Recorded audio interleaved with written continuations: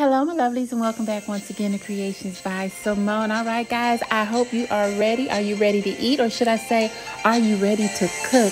Today, I am participating in this awesome collaboration hosted by Miss Ana over at the Grace Life DIY Home Decor and the lovely Miss Penny over at Home Decor and Penny's Lifestyle Living. Now, they have two co hosts, which is Living Life with Miss Lisa Lisa and me, myself, Simone at Creations by Simone. Now, guys, as you know, we all come from different parts of the world, and Miss Ana wanted us to do a video with what our favorite dish was. Whatever your favorite dish was, she wanted you to go ahead and tackle it. She wanted you to cook one or more dishes from your place of birth or place that you've been throughout your lifetime. So I have something really fantastic for you today. Now, I was born in this place, even though I traveled the world with my ex hubby there. He was in the military, but we traveled the world and I've seen a lot of places, but I come from one place. So I wanted to choose the place that I come from to create my dish, guys. So I hope you're ready. I hope you're ready to eat. I hope you're ready to cook. I hope you're ready to get some tips. And as I always say in every video, let's do this. All right, my lovelies, we are going to get started right quick. In the snap of a finger, we're going to start this video off. Now, today, if you haven't already noticed, we're making Philadelphia cheesesteaks, but we're not using the, the homemade, or should I say the real beef where we have to slice and cut up.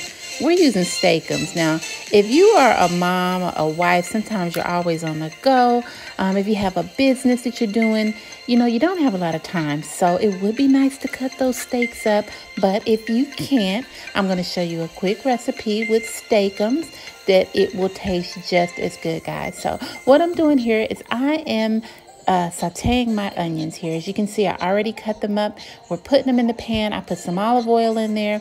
And what we're going to do is just saute the onions. Now, what I did do is I put some pepper on my onions. I like to season my stuff while it's actually sauteing, just to give it that extra uh, flavor and that extra taste. Now, what we're going to do is we are going to cook these onions until they are golden brown. We don't want them too hard. We don't want them too dark, but just until they're golden brown. Look at that. They look good, guys. I can eat the onions. I tell you that, guys. okay, so now what we're going to do is we are going to cook our meat. Now, we have our Steak-umms here, guys. Steak-umms are not that expensive. You get a lot.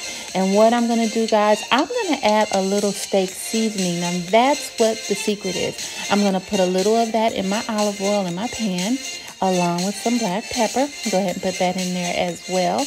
And then once we do that, we're just going to take this oil and just swirl it all around, guys, just to give it that little, you know, extra pizzazz. So when we put our meat in there, all of that will jump onto our meat and just, just, you know, penetrate in there. So now what I'm going to do is I am going to take my steak. I'm just break them apart, guys. These are like in little squares. So I'm just going to break about maybe 10 squares because I am making two sandwiches. Not for myself, guys. Can't eat two. Make one for my little girl as well. But all right, so now what we're going to do is we're going to go ahead and we're going to put our steak seasoning on here. So we'll go ahead, we'll do that. Like I said, the steak seasoning gives it that extra taste since we're not using uh, the real thing there. Now I'm going to add some um, pepper. Put a lot of pepper on there. And once again, you can season, season this to your taste however you like. But these are the main ingredients that I like to use. I have some red pepper here, some crushed red pepper. Put crushed red pepper in everything. It just gives it that extra flavor and extra taste. Gonna add a little seasoning salt here. Now, if you uh, have high blood pressure, you always can substitute that with Mrs. Dash, which has which has no salt. So, like I said, whatever floats your boat. But these are the seasons that I like to use. Now, guys, all I'm gonna do is just stir this up a little. We're gonna turn that heat up. Just make sure the olive oil gets all up into the meat because we want to get those seasons soaked in there. And all I'm going to do here is just put a lid on top of that, let it simmer, and we're going to come out with some steak that is absolutely delicious. I'm telling you. All right, now as you can see, it is simmering here. And guys, I love this. I put the lid on, don't have to do much. This cooks really, really fast too, so you don't have to worry um, that you're gonna be here all day. As soon as you put it in, if your pot is like nice and hot and warm already, the meat will start cooking and you know, it won't take no time at all. So now we're getting towards the end and as you can see, my meat is um, basically cooked here. I'm just gonna stir that up, guys. Make sure we have all that pink stuff out of there and just make sure everything is cooked to perfection like it should be. All right, my lovies, now what I'm going to do, remember the onions that we had in the beginning of the video. I'm going to take my onions. Now I'm going to add those into the meat. I wanted to cook my meat first. Now I'm going to add my onions in. We're going to stir those up, and we're just going to just repeat that cycle there, stir it up, and then I'll put a lid on top of that as well so the onions can just get into the meat and, you know, flavor that up. Make sure you stir it really, really good, guys. I love saute onions, and that just adds, oh my goodness, it adds so much flavor to the steak, and I just absolutely love it. All right, my lovelies, now that that has cooked in, I have started taking my meat out because what we want to do now is we want to drain all this. You know, it has a lot of uh, oil in here from the olive oil, which olive oil is not bad for you, but still, you don't need all that added extra grease. So what I've done here is I'm just taking my uh, meat, putting it on a paper towel, just getting all that excess oil out.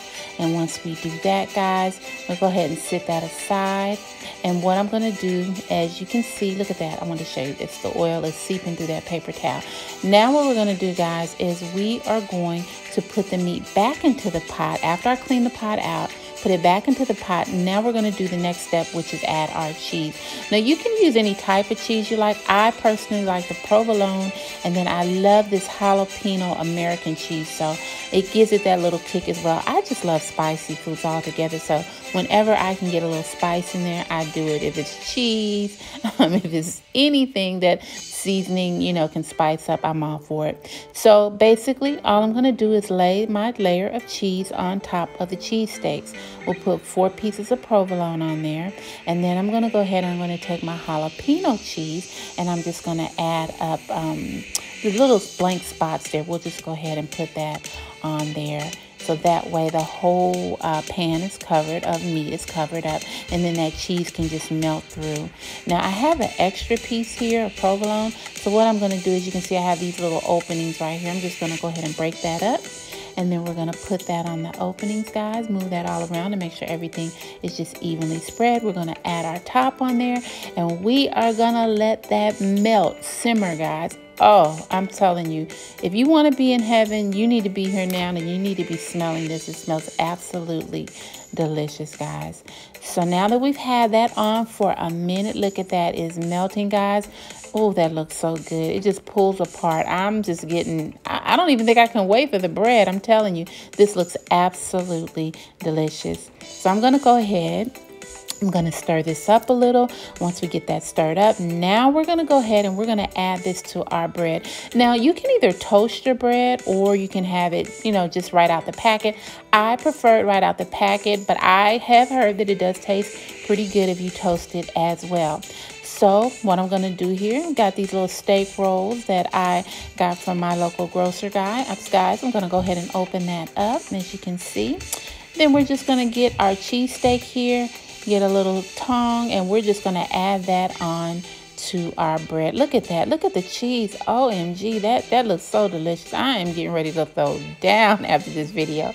I tell you. Now I'm going to go ahead and put some extra meat in there. Oh my goodness. This smells, it smells good. So I can imagine how good it tastes, guys. All right. So if you're anything like me, I am a ketchup girl. I have to have ketchup on my cheese steaks. So what I'm going to do is I'm going to drench this in ketchup, guys. And OMG, look at this. Look at this. Don't be trying to come through your camera to get through here because you're not getting it because it's mine. All right, and I have my Lay's potato chips here. And I have a lunch, oh my goodness, that's just fit for a queen. Seeing that I am one, I think this is going to be absolutely delicious, guys. All right, my lovies, I just wanted to show you this. I am so happy of my steak and cheese cheese steaks. Can't even say that right. I'm to pour me some lemonade, guys. And what is this? Voila, an afternoon lunch that is absolutely delicious, inexpensive, and most importantly, is from where I came from, the city, the city of brotherly love. I, you know what? I'm stuttering because I can't wait to get to this cheesesteak, guys. All right, my loves. Well, I hope you enjoyed the video. And if you do, you know what to do. Give me that big thumbs up. I want to thank our two special uh, hosts, Miss Ana and Miss Penny, for hosting this all around the world cooking uh, collaboration. I can't wait till the next month. I have something so special for you. So, guys, if you want to see it, make sure you come on, on back. I'm going to have all the ladies' information down in my description box below. Go make a cheesesteak tonight, guys. I'm telling you, your kids, your husband, all above will love it. All right, my lovies. I'll see you in the next video. Bye.